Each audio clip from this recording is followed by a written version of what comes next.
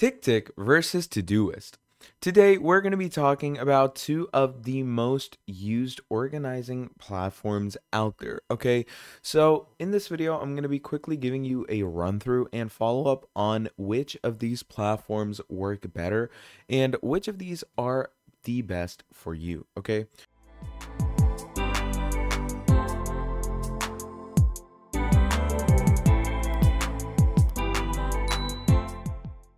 So to start things off, what we're going to do is we're going to get started with the detailing and information about TickTick and Todoist.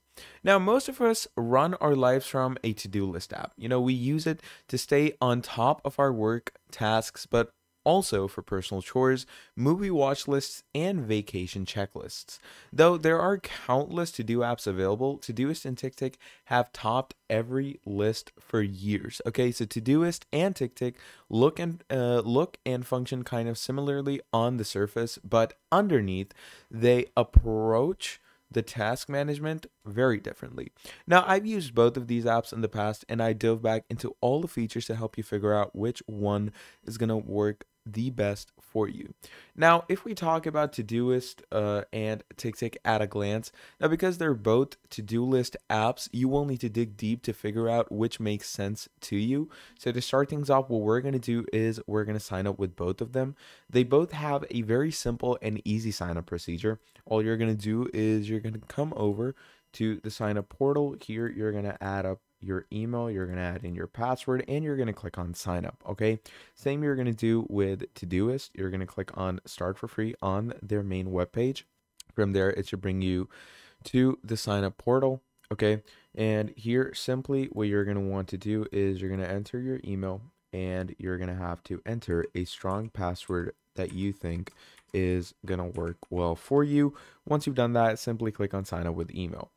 Now, both of them are going to take you through an onboarding. So they're going to say choose what features you need. So I'm going to go with task and calendar. Okay. And we're going to click on next. Choose the to-do lists that you're going to be needing. So we have work, memo, shopping, wish list, study, exercise. I'm going to go with work. Let's go with study and exercise. And let's click on get started. And there you are. TickTick brings you straight into its platform. Todoist will also bring you through the onboarding where it's going to be like create your profile. It's going to ask you to upload a photo. If you want to, you can, but I'm simply going to go ahead and add my name. Now, if you want to use Todoist with multiple people, you're going to click on this option, but I'm going to be going solo, so I'm going to click on continue. How do you plan to use Todoist? We have personal, work, and education. I'm going to go with work and we're going to click on launch Todoist. And there we go. Now both of these platforms are up and running. So let's talk about TickTick first of all. Now when it comes to ease of use, the platform TickTick is slightly congested. You know, the design is a bit, you know, all over the place. Then the platforms that it provides you are Mac, Windows, Linux, iPhone, Android, web browsers, Apple Watch, and even more. So that is how incredible it is. It doesn't provide you with any AI. The productivity level is pretty good because it pr provides you with a lot of different views that you can generate. You have views like Kanban board, Eisenhower matrix, calendar, Pomodoro timer, habit tracker, and even custom templates, all that you can change from your view section over here. So if you want to add something, just click on plus and you can create a list of the different tasks that you can assign with any type of view that you desire to use. Okay. Then even collaboration is pretty cool because on each project that you have, you can collaborate real time with other users by simply sharing your project with them. Okay.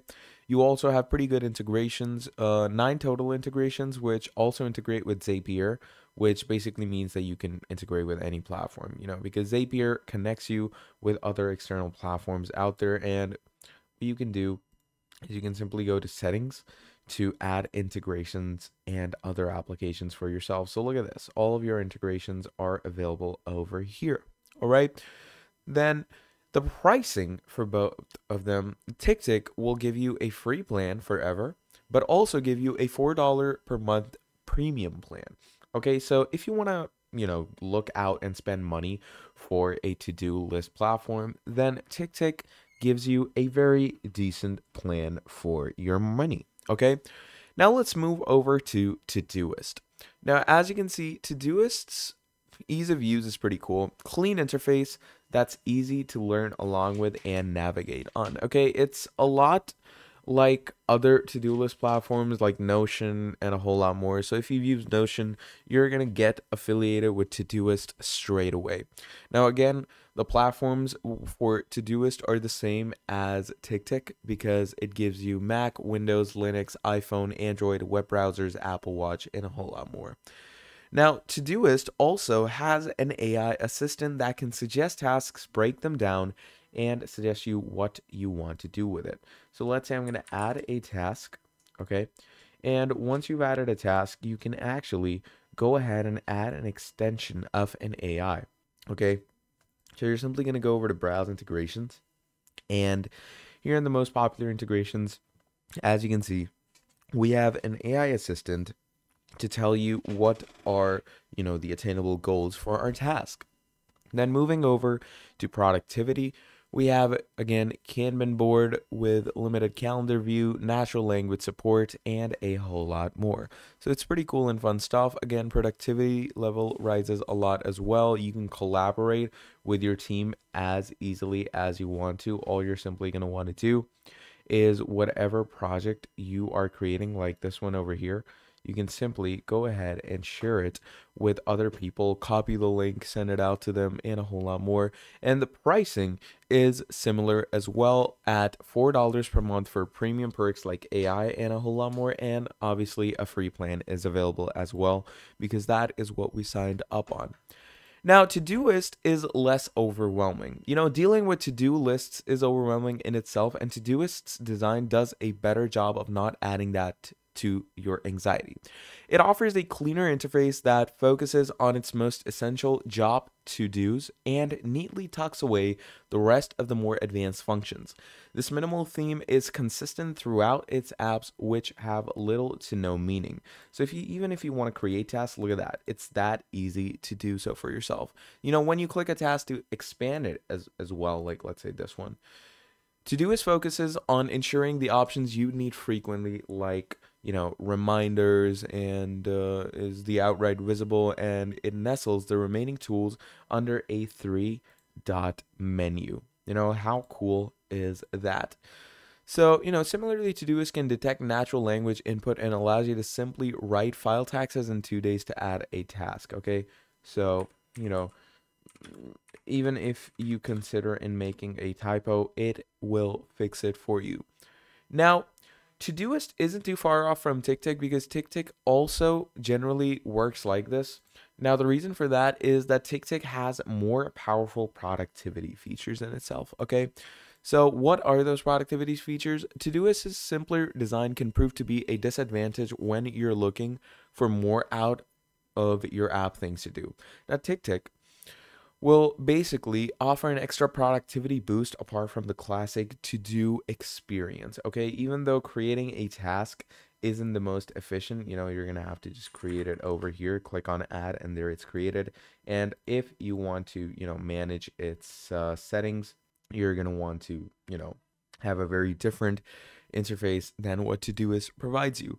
Now, TickTick's four column interface for starters is more convenient for multitasking between tasks and projects. You can manage and view a to-do description in its separate column as opposed to do on Todoist. Now, where it opens up in a full screen panel hiding the rest of the tasks and projects. You have a range of editing everything in full and it gives you a very good, you know, repertoire to work on. Now, when it comes to, you know, Todoist versus TickTick and which you should choose, picking between both of these comes down to what kind of a to-do app you want. You either you know, will certainly, you know, get a app which wants to get the job done. Now, for those in the search of a platform that focuses on to-do essentials first, Todoist is the way to go. Okay, but if you're a power user who frequently uses advanced task management tactics, then you'll feel right at home with TickTick. So, yeah, do let me know down in the comments below which one of these platforms looks more suitable to you and which one you think you will work better on. Do let me know these things in the comments below. And if you enjoyed the video, please do make sure to drop, drop down a like and subscribe to the channel as well. Till then, that is going to be all from me, and I'll be seeing all of you wonderful people in the very next video. Have a great and amazing day. I'll be seeing all of you next time. Goodbye.